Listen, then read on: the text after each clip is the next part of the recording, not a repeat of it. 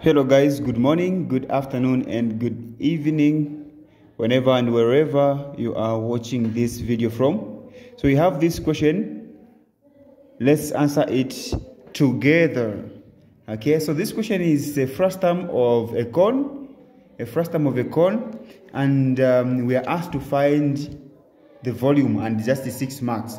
Now, how do you find the volume here? Six marks. You have a lot of methods of finding volumes. Okay. Now, the method that I'm going to use here um, is this.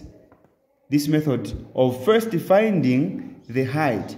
Okay, because for you to get six marks, it's not just uh, writing the formula down, substitute, solve. You can't be given six marks. So the first thing you are expected to calculate the height of a smaller cone okay, and the height of a larger cone. That's when you can find what? Eh, you can calculate eh, volume. So what do you do? Okay, so listen. This is the radius of a larger cone.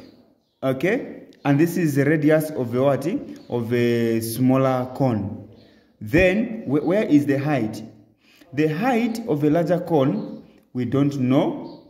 So it's the same as here you have something like this okay you have a cone like this then it was it's just cut here. Okay cut and this this radius is uh, 8 centimeters and then this one is what? 3 centimeters. Then instead of give instead of being given the height of a full cone which is a larger cone you are given the height of a frustum. Height of a frustum which is 10 centimeters. Okay 10 centimeters. So what you need to do is, you know you should have the height of a larger cone, which is the full cone, and the height of a smaller cone here, which is the small letter h. So we're going to use proportions to find the height of a smaller cone. How do you do exact that? Listen, first find the, uh, use the height of a larger cone, which is the, the height of a larger cone is what? 10 plus the height of a smaller cone.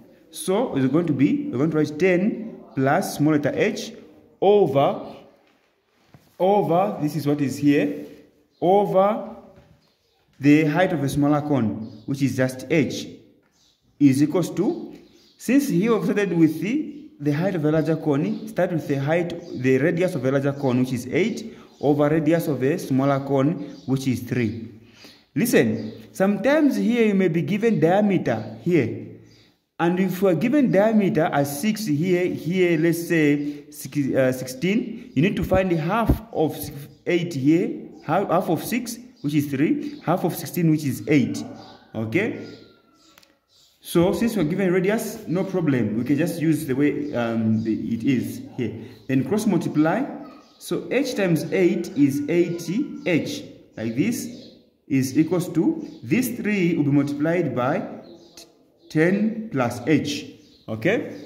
Then then it will be 8h is equals to 3 times 10 is 30 plus 3 times h is 3h then collect like terms.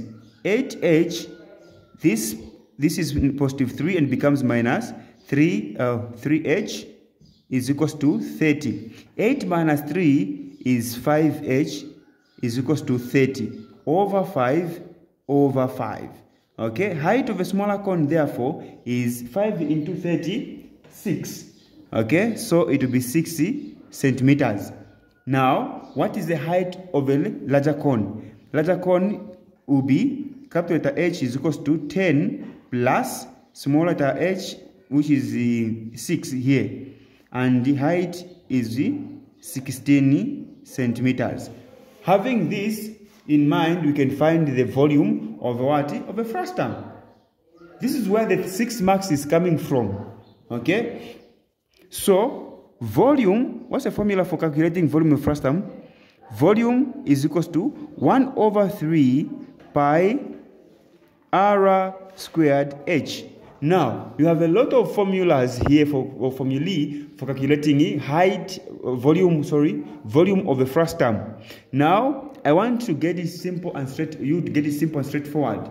this formula just know the original formula and you are good to go okay you are good to go so what you're going to do you're going to say volume of the larger cone which is 1 over 3 uh, pi let's use capital r squared then capital h minus the volume of the smaller cone which is 1 over 3 the same formula. Pi and now we are going to use small letter r ah, here and the small letter h signifying what is small smaller the smaller cone okay? Something just very simple. Don't get confused in the exam okay? So volume is equals to it's just a matter of substituting. So 1 over 3 what is pi according to the question here is 3.14 3.142 simple. So we're going to say 3.142 then what is the radius of the larger cone? 8 and it will be 80 squared. Multiplied by what? Multiplied by height of the larger cone 60 16 okay? Something like this. Minus 1 over 3 times 3.142 times radius of the smaller cone which is 3 so it will be 3 squared. Then height of the smaller cone which is what? 60 here.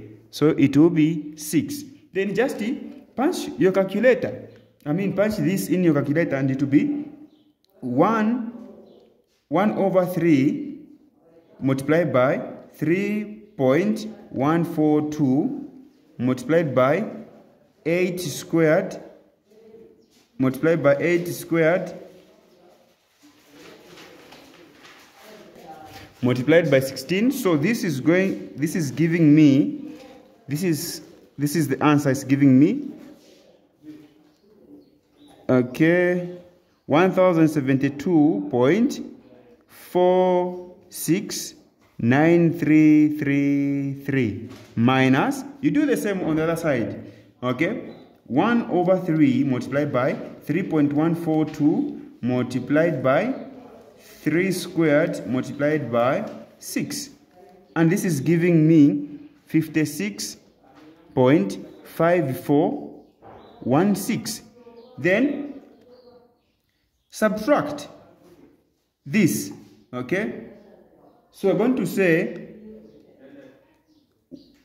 1072 1072.46 9333 three threes minus 556 point this is 56 56 point 5 5 4 1 6 okay this is giving me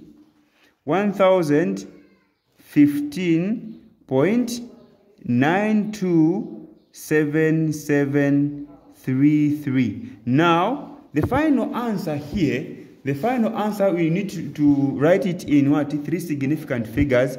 So you count one two three. Okay? And you'll be one zero. This is greater than this is 5 so we're going to add 1 to this one. This becomes 2 and the 5 becomes 0 and this is centimeters and we are calculating volume so it will be cubic centimeters. And this is the answer. This is how you get 6 marks okay? You can just write the formula direct without finding the height here and you expect to get 6 marks. No. Okay so this is how it's done